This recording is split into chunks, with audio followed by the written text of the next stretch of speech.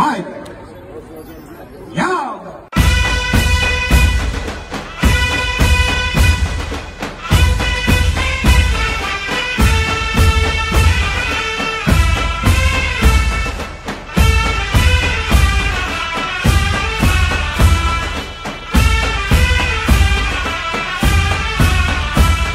Değerli misafirler, hepinize sevgi, saygı ve muhabbetle selamlıyorum. Şu anda Düzce'de nerede kaç pazar yeri olması gerektiği bizim planlarımızda var.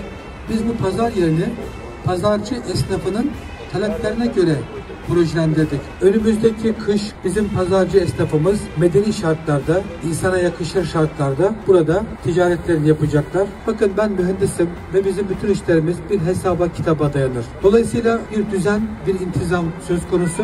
Gerçekten Düzce sınıf atlayacak. Hiçbir zaman böyle göstermelik bir iş yapmadık.